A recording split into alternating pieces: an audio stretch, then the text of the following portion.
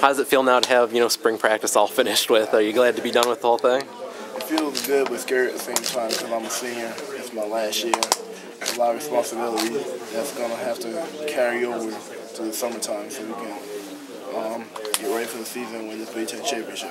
Talk about the development on the interior of the offensive line and what you saw going against them every day in practice. The, their development has been huge since the beginning of practice till now. They um, they've really come a long way.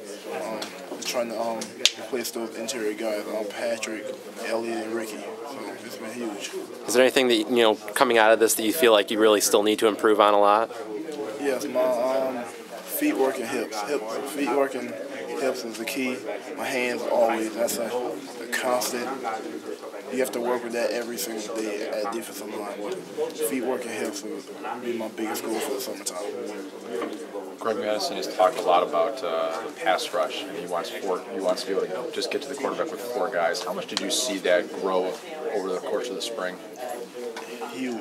The, um, Jibreel Black, um, Frank Clark, every, everybody is really improving.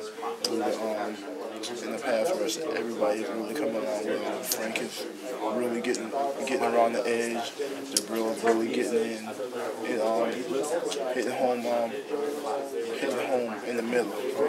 It's coming, it's coming really well. He said Mattison said he wants a defensive line that tells him, "Don't blitz. We can, we got this." Are you going to tell them that? Yeah, definitely, definitely. Um, we feel that we're ready to go.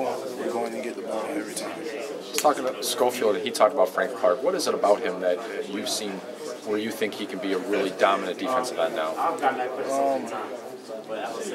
he has a lot of talent. He's he's strong. He's fast. Um, he's practicing like a champion every day. He comes to work every day.